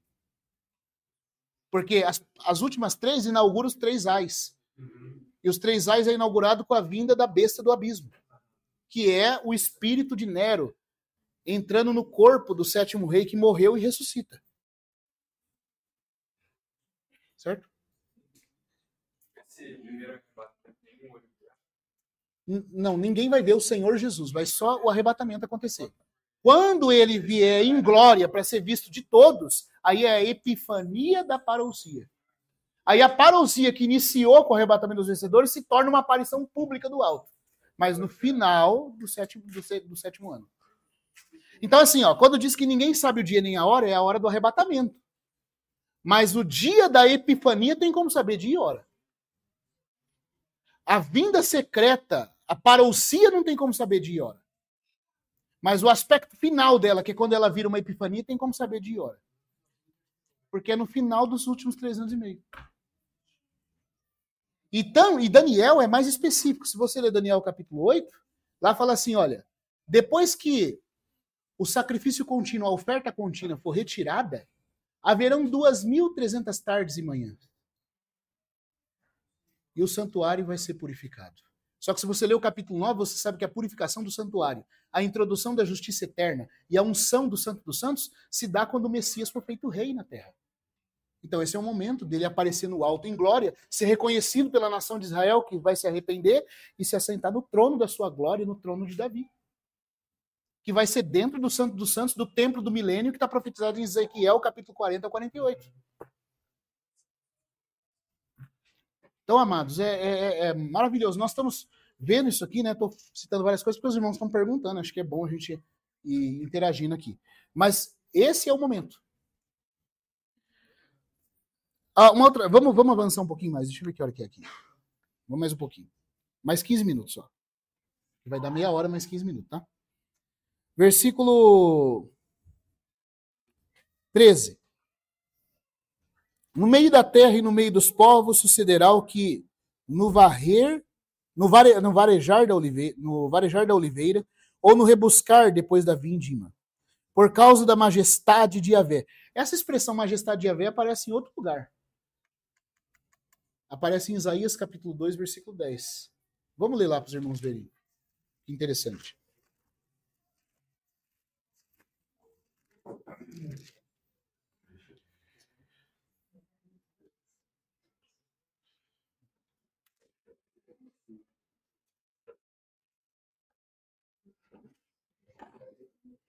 Isaías 2, 2, 10. É o mesmo evento. É o mesmo evento. É que Isaías, irmãos, é- eu não sei quantos irmãos aqui têm visto lá, eu tenho compartilhado alguns estudos de Isaías no canal. E no- na primeira mensagem, que é em áudio, eu tinha compartilhado com os irmãos uma coisa que é interessante em Isaías. Isaías, ele tem um- uma profecia, uma natureza de profecia de transposição e de, cumpri- e de, e de tema cíclico repetido. Então, o que, que acontece? De um movimento cíclico. É assim, Isaías fala do tempo dele, mas aquilo que está acontecendo no tempo dele é uma transposição para os dias do Senhor Jesus. Então ele está falando ao mesmo tempo do que está acontecendo nos dias de Cristo, na terra, na primeira vinda dele. Aí ele salta dos dias de Cristo para os últimos sete anos. Depois dos sete anos ele introduz o milênio, aí ele volta de novo para os dias dele. Para os dias da primeira vinda de Cristo. Os últimos sete anos dessa era e o milênio. E ele fica nisso o tempo todo. Todas as profecias de Isaías faz esse movimento de quatro temas e um transposto sobre o outro. Por quê? Por exemplo, ele diz assim, no capítulo 1 de Isaías, por exemplo, ele diz assim: Ah, o meu povo não me conhece. O boi conhece o seu possuidor, o jumento a sua manjedoura, mas Israel não me conheceu, diz o Senhor. Isso era verdade nos dias de Isaías. E o nome Isaías significa salvação de Javé. Isaías em si é uma figura do Senhor Jesus sendo rejeitado porque ele profetizou 50 anos e ninguém deu crédito à sua pregação. Por isso que no capítulo 53 ele fala: quem deu crédito em nossa pregação? E a quem foi revelado o braço do Senhor? Nos dias dele ele não foi ouvido. E foi morto de uma forma tão cruel. Mas isso aconteceu nos dias de Jesus, porque ele veio para o que era seu e os seus não o receberam. Então Isaías 1 fala do tempo de Isaías, mas fala também dos dias de Jesus sendo rejeitado mas também fala dos últimos sete anos dessa era. Por quê? Porque dois terços de Israel vão fazer aliança com o anticristo e não reconhecerão o Messias. E os profetas que Deus vai enviar para eles vão ser desreconhecidos. Aí depois que Isaías fala isso, ele diz assim: Ah, se o Senhor dos Exércitos não nos tivesse deixado um remanescente, já teríamos nos tornado como Sodoma e semelhantes a Gomorra. Isso era verdade nos dias de Isaías? Sim. Um remanescente foi poupado na casa de Davi, no reinado de Uzias? Mas também era verdade nos dias de Jesus, quando todo o sinédrio e os judeus não creram, mas o Senhor separou um grupo de judeus que creram que eram seus discípulos. O remanescente, e depois sempre teve crentes na nação de Israel, e Paulo pega esse versículo de Isaías para falar que até hoje essa profecia se cumpre quando cada crente judeu ainda crê em Jesus. O Senhor deixou um remanescente para que todo Israel não se tornasse semelhante a Sodoma e a Gomorra. Mas isso também é verdade nos dias dos sete anos finais dessa era. Porque naqueles sete anos finais, Apocalipse 11 fala que Jerusalém espiritualmente se chamará Sodoma e Egito. E somente 12 mil selados de cada tribo remanescente será poupado de novo. Os irmãos estão vendo como são cumprimentos de transposição profética. Isaías fala para os dias dele, depois fala nos dias de Jesus em carne, depois aplica aos sete anos finais e aí introduz o milênio. No capítulo 2 de Isaías, a mesma coisa ocorre. Isaías começa falando do que está acontecendo no tempo dele. De repente, não é só do tempo dele que ele está falando. Está falando dos dias de Jesus aqui na terra. Depois ele já salta para os sete anos finais dessa era. E aí, de repente, isso está do versículo 1 ao 9. A gente não vai explicar isso aqui que não dá tempo.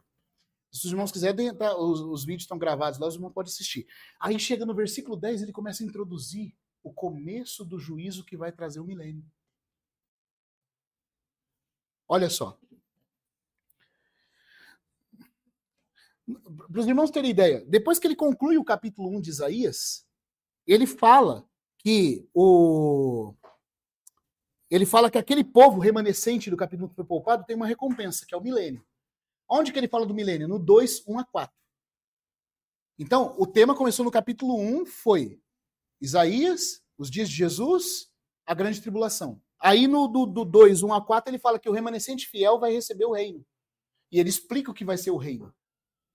Aí no 5, irmãos, eu só estou mostrando para os irmãos poderem, poderem sintonizar comigo. Do 2, 1 a 4, ele fala do monte do Senhor sendo o lugar da adoração da terra toda, quando o milênio começar. Aí no 5, parece que ele não está falando a mesma coisa mais. Você fala, mas tem uma coisa que não sei, parece que não está continuando o raciocínio. Mas é porque ele já fez o movimento. Lá no 1, versículo 1, até o 2,4 ele já foi. Os dias de Isaías, os dias de Jesus, os sete anos finais dessa era e o milênio. Aí no 2,5 ele vai voltar de novo para os dias de Isaías. Ele fica fazendo isso na profecia o tempo inteiro. Então no 2,5 ele fala assim, ó. Não, 2,5 não, 2,6. Porque a casa de Israel tem deixado o seu povo. Aqui na textual traduz assim, mas aqui a textual, seguindo uma tradução pré-massorética, ela não foi muito fiel. As outras traduções traduzem, mas tu, Senhor, abandonaste o teu povo. Desamparaste o teu povo. Por que o mas tu, Senhor? Porque o 2.4 termina com as nações dizendo para Israel, vamos andar na luz do Senhor. Ou seja, no milênio, as outras nações vão estar junto com Israel adorando o Senhor.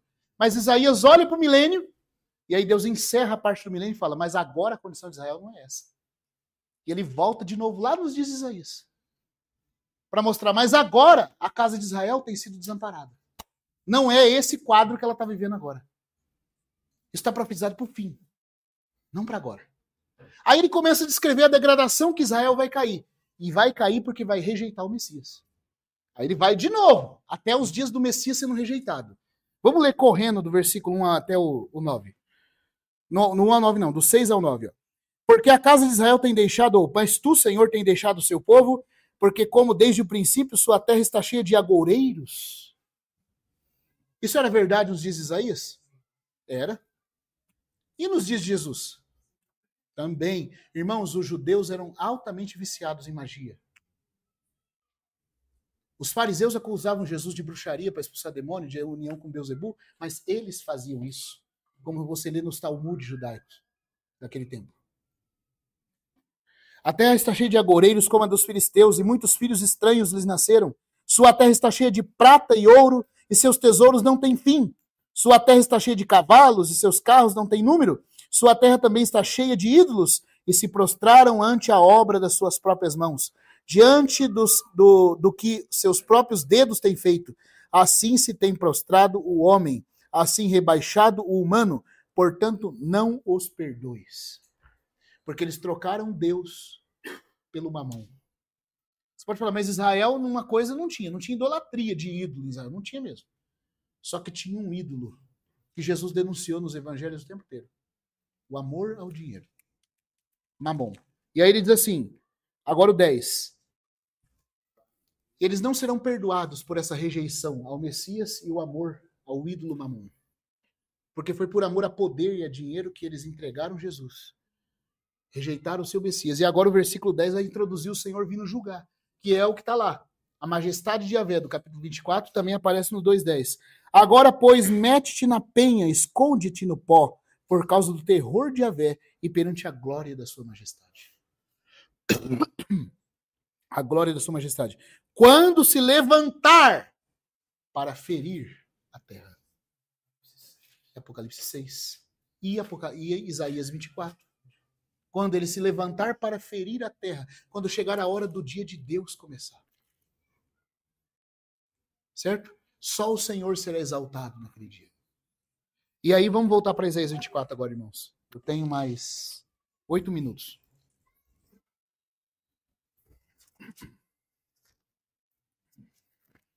Eu quero chegar com os irmãos no finalzinho para a gente ver como é que o próprio Isaías, mesmo em germe, ele mostra essa diferença do Senhor vindo, o Senhor executando juízos cósmicos nos céus, contra as hostes dos céus, contra os reis da terra na terra, inaugurando o milênio e depois do milênio, fazendo um juízo final.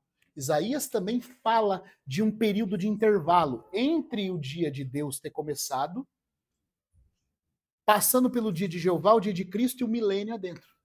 Isaías fala de um período de intervalo entre uma coisa e outra, assim como Apocalipse. Nós lemos hoje até Apocalipse 20, versículo 1 a 7. Lá o diabo é preso, Cristo reina mil anos e depois o diabo é solto durante um tempo. Para só depois receber juízo.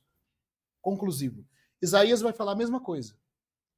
Por que, que eu estou lendo tudo isso aqui com os irmãos? Para mostrar que os profetas também falaram do que João está dizendo.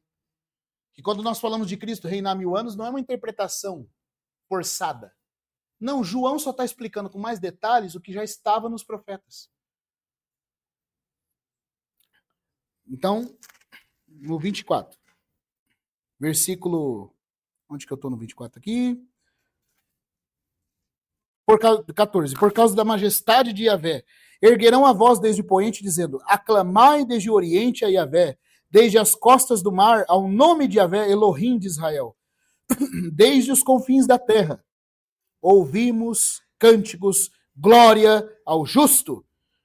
Porém, eu digo, embora o remanescente já está louvando a Deus nesse período, porque nesse período os 12 mil selados de cada tribo já vão estar adorando o Senhor, já vão ter recebido o Espírito que vai cair sobre Israel. Então, este remanescente, desde os confins da terra, por que desde os confins da terra? Porque é outra coisa também que Isaías vai profetizar em outros textos. Eles vão receber esse Espírito e eles vão percorrer toda a terra como arautos do reino que está chegando. Eles vão percorrer toda a terra, fazendo sinais e prodígios. As duas testemunhas vão ficar em Israel e os doze mil de cada tribo, muitos deles vão ir por toda a terra. 144 mil do capítulo 7, não do capítulo 14. Né? Porque os, os da, do capítulo 7 são literais de Israel, do capítulo 14 é outro. Esses vão percorrer toda a terra. E de toda a terra, esse remanescente vai dizer: glória ao justo. Chegou a hora. E vai dizer: porém, eles vão dizer isso. Porém, aí Isaías continua: porém, eu digo: os traidores traem, os traidores traem traiçoeiramente. Terror cove rede sobre ti, ó morador da terra. Aquele que escapar do grito de pânico cairá na cova. Aquele que sair do fundo da cova ficará capturado na rede. As janelas do alto têm se aberto, abalam-se os alicerces da terra. As janelas do alto têm se aberto. O que são essas janelas do alto? Você vê que quando diz que o sexto selo é aberto, o sol, o céu, se recolhe como um pergaminho. Um pergaminho se enrolando. E aquilo que está acima dele começa a descer. O juízo de Deus, a vinda de Deus, a vinda do juízo que vem do alto. Abalam-se os alicerces da terra. Por que, que se abala nessa hora? Porque também é nessa hora que ocorre um terremoto quase de escala global. É o sexto selo. Abalam-se os alicerces da terra. A terra se sacode e se racha. A terra se parte em pedaços. A terra cambaleia, vacila como um ébrio, cambaleia como uma barraca, tanto lhe pesa o seu pecado. Desaba-se e não se ergue mais. Agora vem aqui, irmãos, olha. Yahvé visitará o exército das alturas e os reis da terra na terra. Tem alguém que tem outra tradução? Aquele dia o Senhor castigará Isso. os poderes em cima nos céus Uhum, e os reis embaixo na terra. na terra. A palavra é pakat em hebraico. Esse termo visitar não é visitar de maneira alegre. Não é uma visita que um amigo faz ao outro. É a visitação para castigo. Então a tradução está mais precisa, que é textual que seguir, mas o hebraico colocou visitará. Mas os hebraístas, como Delitie, mostram que a palavra significa visitar para castigo. Agora vamos lá. Yahvé visitará para castigo o exército das alturas. O que, que é isso aqui, irmãos? O que, que são os exércitos das alturas? Os anjos caídos. Porque você sabe que a Bíblia fala que Satanás é o príncipe da potestade do ar. Ele atua no céu atmosférico, que é o primeiro céu. Mas em Efésios 6, versículo 12, Paulo fala que eles estão nos lugares celestiais. E essa expressão lugares celestiais é Epo Uranus. Uranus é o céu que vai desde a crosta terrestre até terminar o ar da atmosfera. Isso é Uranus. Agora, Epo Uranus é o céu estrelado, é o céu sideral. E Paulo diz que os anjos caídos de Satanás têm como residência esse céu. Eles são os verdadeiros extraterrestres. Ah, e existe vida extraterrestre? Existe. Existe. E, inclusive são eles que estão se disfarçando de ETs. Depois do céu, o Senhor vem. Aí depois, não sei aonde termina o limite desse céu aí, vem o terceiro céu, onde Deus manifesta de forma visível a sua glória. Né? O terceiro céu, o céu dos céus. Mas o Senhor vai castigar nesse dia. Isso aqui, irmãos, é o que diz Apocalipse. Que Satanás será preso, tá entendendo? Ele vai castigar nesse dia dois grupos: o grupo dos céus e o grupo dos reis da terra na terra. Por quê? Porque existe uma aliança. Existe algo muito coordenado entre os príncipes celestes nos ares e os reis malignos que servem a eles na terra. Inclusive, muitos desses reis, dentro dos clubes Bilderberg, dentro da confraria negra dos Illuminati, eles sabem que estão servindo o diabo. E servem a ele de propósito. E se aliarão ao anticristo na terra, conduzidos pelos espíritos de Satanás. Mas nesse dia, quando o Senhor julgar, nesse período de julgamento de Deus, o Senhor vai atar as hostes dos céus e os reis da terra na terra. O que, que vai acontecer? O que está dito aí? Vão para o lago de fogo já? Já vai começar a eternidade? Não, olha só como é que Isaías também fala, irmãos, desse intervalo que Apocalipse mostra, do milênio. Só que ele não usa a expressão mil anos, ele fala muitas gerações. Hof e Amin, em hebraico. Que lá em grego, João chama de mil anos. Kilia et. Olha só. Amontoar-se-ão e ficarão encerrados, presos. Em masmorras. Por que masmorras? Porque as masmorras, aqui está falando das masmorras abissais do Tártaro, do abismo de Apocalipse. Lá em Apocalipse fala abismo, aqui fala masmorras. Ficarão presos em masmorras depois de muitas gerações, e a mim, muitos dias. Isaías não dá um número preciso, porque a profecia de Isaías ainda está em germe, se desenvolvendo. Apocalipse depois vai pôr mais detalhes. Mas vocês estão conseguindo perceber a simetria? Depois de muitos dias, serão visitados. O Senhor já visitou, castigando, prendendo eles, e a expressão encerrados é amontoados e jogados lá dentro. Os reis da terra vão morrer no Armagedon e as almas dele vão para o mundo dos mortos. Vai ficar trancafiado lá no Hades. E Satanás, que ainda não está lá, então essa ideia de que Satanás está no inferno com um tridente, espetando todo mundo, né? Irmão, que prisão de Deus que é essa? Eu falo para os irmãos lá na live, é a prisão do Chapolin Colorado, isso aí. A prisão que você sai a hora que quer. Satanás está preso lá, irmão. Está no inferno lá, espetando, né, né, como se fosse o rei. E aí manda demônio vir para a terra. Os demônios saem lá do inferno, vêm aqui na terra tentar todo mundo e voltam para o inferno. Mas que, que prisão mais michuruca essa aí, viu? Tá, tá preso lá, como Milton fala no Paraíso Perdido, no orco. Mas ele consegue sair. O diabo do Milton consegue sair da prisão, vir na terra, tentar Adão, fazer tudo. Mas o, a prisão de Deus não é assim, meu irmão. Essa é a prisão do Chapolin. A prisão de Deus ele será encerrado, selado, ficará ali durante mil anos. E é o que está falando aqui. Ele vai reunir essas hostes dos céus, os reis da terra que vão ser mortos no Armagedon, e vai jogá-los todos no mundo dos mortos. E eles ficarão presos nesse abismo durante mil anos. Tá 2, tá? Também, as nações se levantam, E eles falam que eles.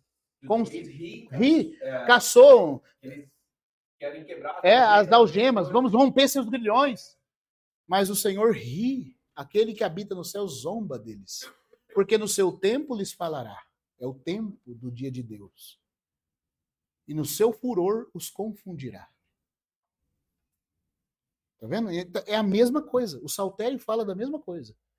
E aí o Senhor vai jogá-los lá, só que aí fala assim, ó, desde que eles são presos lá, vai se passar muitos dias. O que, que são esses muitos dias, irmãos?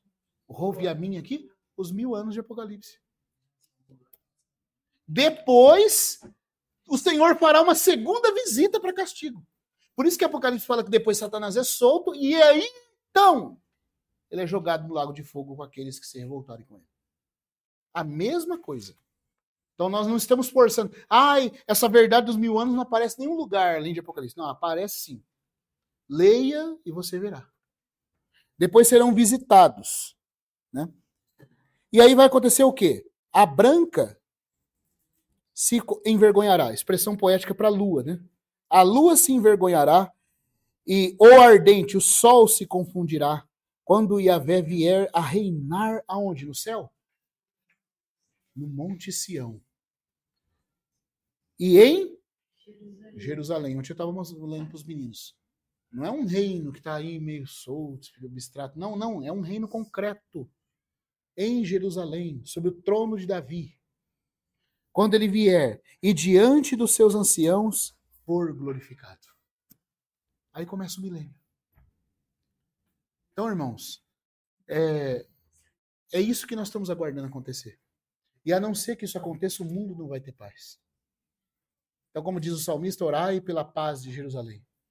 Quando nós oramos pela paz de Jerusalém, nós estamos orando para o Rei da Paz. Que ele seja reconhecido por eles. Toda a esperança da terra depende disso. E nós também não temos outra esperança. Que o Senhor possa nos abençoar, possa continuar falando conosco. Agradeço os irmãos pela paciência. E vamos parar por aqui. Colocar uma vírgula. Depois a gente continua. Amém?